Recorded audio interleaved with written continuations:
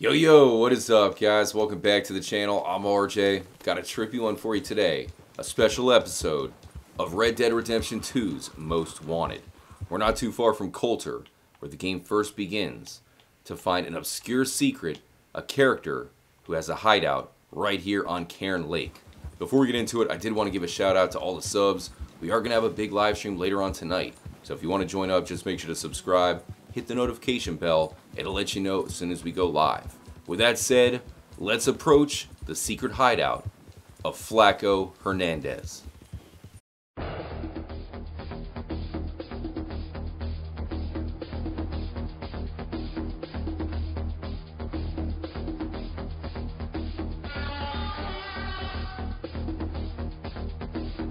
What do we have here?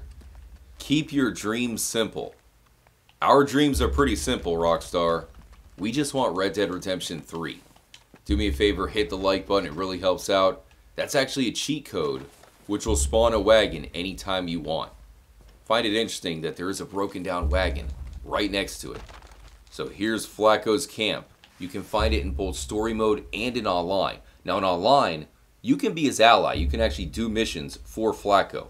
But here in story mode, we are hunting him down. So when you approach the camp, make sure to threaten his gang members because that'll pretty much scare them and allow you to walk right up to his cabin. So Flaco Hernandez is a link to the origins of Red Dead Redemption, a movie called The Good, the Bad, and the Ugly. So if you haven't seen that movie, it's pretty old school, but it is basically like a Red Dead Redemption movie. So I highly recommend you watch it. The Good, the Bad, and the Ugly actually refers to the three main characters in the movie. One being Clint Eastwood, but one of the characters is named Tuco, and Tuco is represented here in Red Dead Redemption 2 as Flaco Hernandez. So before we meet Flaco, let's take a look at Tuco from the movie. That door ain't coming down. Two thousand dollars. I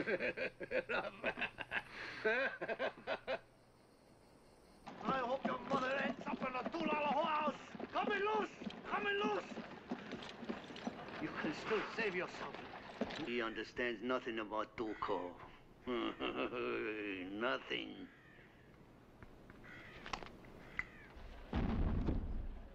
There are two kinds of spurs, my friend. Those that come in by the door. Those that come in by the window. Where are we going? Where? Ah, if you save your breath, I feel a man like you could manage it. Huh. You're all alone, huh? Like me, Blondie. We're all alone in the world. Yeah, I have you, you have me. Tuco is one of the reasons why that movie was so good, and Clint Eastwood's character is actually a lot like John Marston. Come on out, Flaco. You actually get to go in the cabin and have a civilized conversation with him in Red Dead Online. Doesn't quite go that way here in story mode. Doesn't really have much to say. I'm unarmed. Sure you are. Flaco, Tuco, I just want to talk about Boy Calloway. Here's your message. So you immediately go into a duel. I'm going to let John die here because what Flaco does is a reference to Max Payne, another great Rockstar game. You see how he dives out of the way in slow motion. He's the only character in the game that does that maneuver. So not only is he a reference to Tuco, but he also is an Easter egg to Max Payne. This time, we're not letting you get away with it, Tuco. Not only are we going to blast you, but we're giving you the teabag treatment. I did want to point out that if you go into Flaco's cabin here in story mode and then open up his lockbox, that is where you can find an important treasure map. So it's definitely a location you want to go to fairly early on to recover the poisonous trail treasure. So here we are back at the camp. Approaching Flaco, I did notice he has no other gang members with him. So he's all by himself, hanging out in the cabin. Flaco, what's up? So we can do some free roam missions. Red Dead Online actually added an update to where you can choose which mission you do. At first, he would just randomly give you a mission, but now you can destroy supplies, do a boat theft, early release. There are plenty of options and a lot of different dialogue that you can actually have with him. No friends left. And you're all alone in the world. Everyone forgot. Forgot about Flaco. No friends left. He says something very similar in The Good, the Bad, and the Ugly. But I did not forget them. Friends of mine in jail. They're being moved. All right, the prisoner has been released. There you go, Flaco. You owe us big time. Now, in story mode, you can even find a photograph in your inventory of Flaco showing you why he's so notorious. He really is one of the most infamous characters in all of Red Dead Redemption 2. Here we are in Armadillo, a town that was made to look like it was right out of the good, the bad, and the ugly. And here in our inventory, under photographs, that is where you can find the Flaco Hernandez photograph. And if you look on the back, it'll tell you exactly why he is so wanted.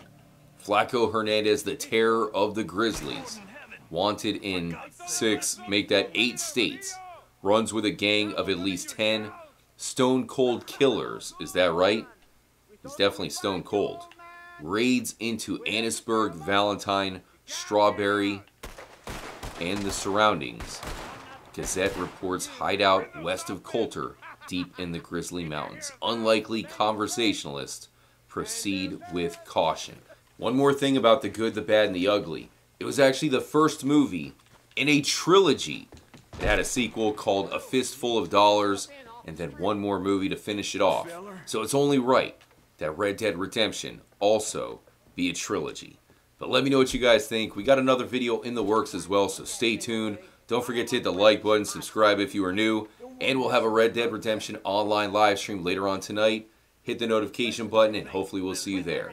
Until next time, adios muchachos, stay tuned, and as always, make sure to stay trippy, my friends.